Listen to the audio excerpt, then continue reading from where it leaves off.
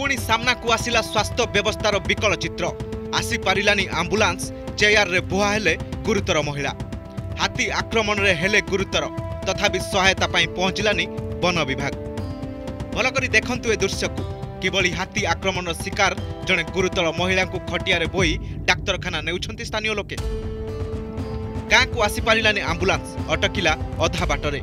ଏ ଦୃଶ୍ୟ ହେଉଛି କୋଇଡ଼ା ବେତଝର ଗାଁର ହାତୀ ଆକ୍ରମଣରେ ଶିକାର ହୋଇ ଗୁରୁତର ହୋଇଥିଲେ ମହିଳା ସୁନିତା ପଣ୍ଡା ହାତୀ ଆକ୍ରମଣ କରି ପାଞ୍ଚଟି ଘର ଭାଙ୍ଗିବା ସହ ମହିଳାଙ୍କୁ ଟେକି ଫୋପାଡ଼ି ଦେଇଥିଲା ଘଟଣାର ଦୁଇ ଦିନ ପର୍ଯ୍ୟନ୍ତ ବନ ବିଭାଗ ଅଧିକାରୀଙ୍କ କୌଣସି ଦେଖା ନଥିଲା ଏପରିକି ଚିକିତ୍ସା ପାଇଁ ଡାକ୍ତରଖାନା ମଧ୍ୟ ନିଆଯାଇ ନଥିଲା ମହିଳାଙ୍କୁ ସେ ଛୁଆଟା ଦୌଡ଼ତାଇ ଫିଙ୍ଗି ଦେଲା ବେଳେ ସେଇ ଆର ପିଲାଟାକେ ଗୋଟକାଇ ନେଲା ବେଳେ ମୁଁ ସେଇ ଭିତରେ ନେଇ ଚପିଲି ଆଉ ଯେମିତି ଫିଙ୍ଗି ଦେଲା ସେଇଠି ନେଇ ଚପିଲି थोड़ा इला ओटा भी नहीं पार के पूरा दुर्बल हो এই দেহটা বি বাজিগলা কি নাই গোটে নাই পারছে অন্টা অন্টু বি বহুত বেশি নির্ভূত হচ্ছে সূচনা পাই এনে খবর সংগ্রহ পাই পৌঁছিলে আম প্রতিনিধি মহিলাঙ্ক অবস্থা দেখি নিজে ডাকিলে আম্বুলান্স কিন্তু দুর্ভাগ্য কৈড়া ব্লকঠু মাত্র পাঁচ কিলোমিটর দূরে থাকা গাঁ ভিতরক যাইপারি নথিলা আম্বুলান্স রাস্তা নথিবারু অধারু অটকিলে আম্বুলান্স ড্রাইভর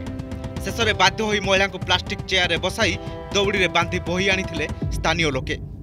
ମାନେ ଯିବା ପାଇଁ ଗାଡ଼ିର କିଛି ସୁବିଧା ନାହିଁ ସେଥିପାଇଁ ଗାଡ଼ିଟା ଠିଆ କରିକି ଆମେ ନିଜେ ନେଇକି ଆସିଲୁ ଆମର ତ କର୍ତ୍ତବ୍ୟ ସେଇଟା କରିବା ପାଇଁ ଚେୟାର ବୋହିଗଲେ ଅଣ୍ଟା ଦରଜ ହେଲା ଜଖମ ହେଲା କାଲି ଫରେଷ୍ଟକୁ ମୁଁ କହିଲି ଗାର୍ଡ଼କୁ ଯେ ନମ୍ବରଟା ଦିଅ ଫରେଷ୍ଟକୁ ଫୋନ୍ କର ଗୋଟେ ଆମ୍ବୁଲାନ୍ସ ନେଇକିରି ଆସ ସେ ବି ଶୁଣିଲେ ନାହିଁ ତେବେ ପ୍ରଶ୍ନ ଉଠୁଛି ଦୁଇ ଦିନ ଧରି ହାତୀ ଆକ୍ରମଣରେ ଗୁରୁତର ମହିଳାଙ୍କ ପାଖରେ କ'ଣ ପାଇଁ ପହଞ୍ଚି ନଥିଲେ ବନ ବିଭାଗ ଅଧିକାରୀ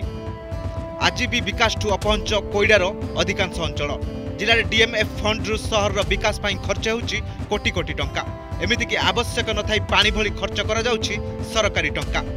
କିନ୍ତୁ ଖଣିଜ ପାଣ୍ଠିର ବିକାଶ ସ୍ୱାଦ ଚାଖି ପାରୁନାହାନ୍ତି କୋଇଡ଼ାବାସୀ ସୁନ୍ଦରଗଡ଼ କୋଇଡ଼ାରୁ ସୁଦାମ ବାରିକଙ୍କ ରିପୋର୍ଟ ଅର୍ଗସ୍ ନ୍ୟୁଜ୍